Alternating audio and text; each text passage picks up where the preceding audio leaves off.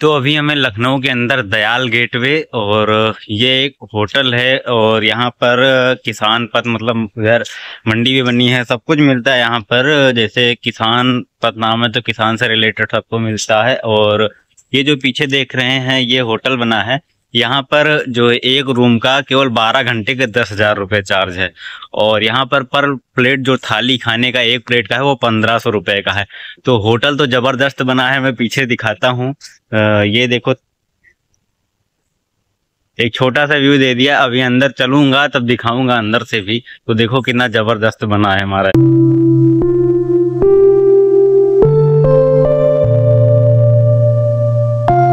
तो भी मेरे साथ हैं अजय तिवारी और इनका भी एक यूट्यूब चैनल अजय तिवारी अयोध्या तो मैं कई वीडियो में बताया हूँ। जी जी।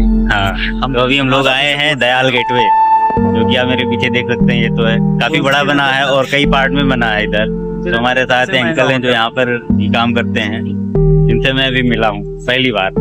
तो अभी जो सामने देख रहे हैं, यहाँ पर जो है मीटिंग होती है बड़े बड़े लोगों की यहाँ पर आते हैं मीटिंग करने के लिए। ये जो सामने आपको दिख रहा है, ये वाला, ये, यहीं पर होती है मीटिंग सब लोगों की। ये इसका बेसमेंट का पार्किंग बाकी ऊपर भी पार्क होता है और इधर देखो, काम चालू इधर जो अंदर का इंटीरियर बनता है रूम का होटल का, इधर देखो, सब लकड़ी हैं। और जिनसे बनाया जाता है, कुछ नए नए तरीके से। तो गाइज़ अभी हम चल रहे हैं फिर से वापस।